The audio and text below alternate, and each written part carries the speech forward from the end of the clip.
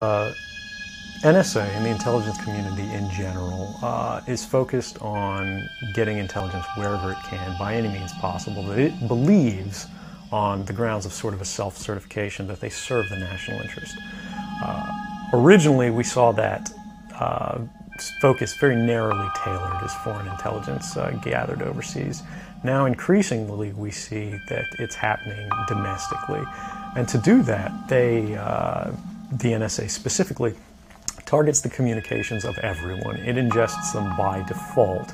It collects them in its system and it filters them and it analyzes them and it measures them and it stores them for periods of time simply because that's the easiest, most efficient, and most valuable way to achieve these ends. So while they may uh, be intending to uh, target someone associated with a foreign government or someone that they suspect of terrorism, they're collecting your communications to do so. Uh, any analyst at any time can target anyone, uh, any selector anywhere.